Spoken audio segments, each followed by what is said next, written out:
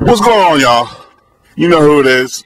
Mr. Wormack, aka Low Rent, aka The Ignorant American, aka The Truth As You Know It, aka Dirty Business, aka The Jet Jaguar of YouTube. What's up, folks? How you doing? It's Mr. Wormack, and I'm definitely back in the building. So today, I'm gonna give you one. This is gonna be an international diatribe.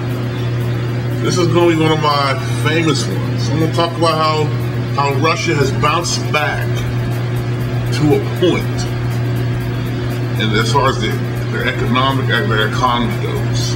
Now, uh, due to economic sanctions over like over uh, Ukraine, uh, the plunging oil prices, and uh, you understand Russia supplies a lot of power, like a lot of they're a big oil exporter. They supply uh, Europe with like what, what they say they supply Europe with like 35 percent of their energy power. Look that up. I think it's it's somewhere in the 30s. I mean, I think it's like 35. Wow. Okay. Due to the the plunging oil prices, their collapse of the economy, the fall of the ruble, you know that should have uh, uh, Putin's uh, Council of Economic Advisors had to address a lot of things in Russia. Uh, they had uh, you know, uh, Apple balked on their online sales in Russia, which was a uh, was a big blow. Like I said, the economy was so bad. Like I said, Apple balked on it. Like they were going to start online sales in, in Russia, and they were like, no. And like if you know Russia, the middle class was coming up and having money, this and that, and fifth. But like I said, due to a lot of these problems, Russia's was the economy was tanking. Uh, they're, they're, they're, what, they, what they're doing now is which, they, which a lot of countries are doing especially like it's just like Southern American countries used to do a lot. I know, I know um, Argentina's doing it now, and Venezuela is either Venezuela or Colombia's doing it. They're limiting the exchange for rubles to dollars. Like they're like people when, when they're when they're uh, it's funny how nobody wants to use the dollar, nobody wants to switch from the dollar. But when their when, when their economy starts to tank, they want to exchange their money and, and their, their currency into dollars. They're not exchanging their currencies into the yen. They're not exchanging their currencies into the to the British pound. Or they're not exchanging their currencies, you know, into the euro. They're exchanging their currencies into the dollar. But they all want the dollar to fade away, which which it, I don't understand that one. But uh, but they're exchanging their and, and Russia is limited that now. There's only so much. You know, and, and the interest rates is like so 17 percent. They said. Uh, as long as Russia, like, and the problem, as long as Russia's in the Ukrainian affairs, we're going to have this. So, but wait a minute, I got to read this important email. I'll be right back with you. All right, back to lecture ahead. I'm sorry for that. I was cut off, but it was important. I had to read, I had to answer some emails real quick. A couple people had to answer. It was, real important. You know? I like that. Like I said, if you my email address, out of focus, at LowRentEntertainment.com and come straight to me. Don't worry about it. Go straight to one of my phones. I'll get it. Just email me. But as I was saying, Russia, and you couldn't blame Putin for the decisions that he has made to this day.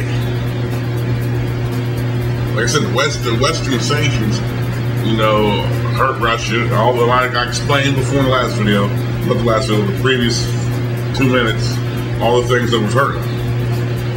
Now, to that point, it, it got to the point that RT, which is Russia Today, which is on which, which uh, I, am not gonna lie, Russia Today was a good news. It's a news organization. Uh, it's basically like a CNN of Russia. I'm not gonna lie, I used to watch Russia Today a lot because before Putin stuck his hand in Russia Today, I watched a lot of Russia. Today. It was it was it was unbiased. It wasn't governmental. It was you uh, know you could tell it wasn't. I mean, they were they were talking about they were they were getting on everybody. They were doing investigations. It was, it was like a it was like CNN or I'm gonna say CNN because everybody knows CNN. But it was like that. They were doing investigations, and all of a sudden, somehow the government got involved, and uh, you know Putin is so in the story. But uh, what happened was RT started putting out a lot of propaganda, saying how good Russia's doing, I guess, and for government. And also Russians You know, the ruble started, the ruble, the ruble stopped tumbling. I mean, it still could be tumbling further, but not tumbling as bad. But when when when the prices, the oil prices began to fall, the ruble wasn't in that great a shape to begin with. But now you get away, like I said, you get energy, you get energy consumers, and more importantly, you get the businesses getting antsy over the ruble bottom line. So now Putin has to do something about this. He has to take extreme measures because, like I said, he, he's the oligarchy is in control in Russia. The oligarchy is what gives Putin the power to do what he does. If you if you go after the oligar- oligarchs and their wallets, Putin had Putin gets Putin has the tap for them.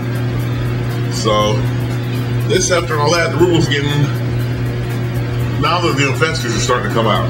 They're starting to, to hit the panic button also, but they're all I mean it's what what do you think? I mean but but like like like the United States, Ford does business with Russia also. You know, uh, after all that, you know, Putin had to make some crazy decisions.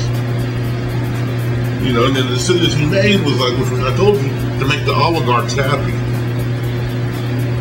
He promised to um, raise the standard of living for the average Russians, which, by the way, he has done, but it, it, it dropped before, but now he got to raise it back up.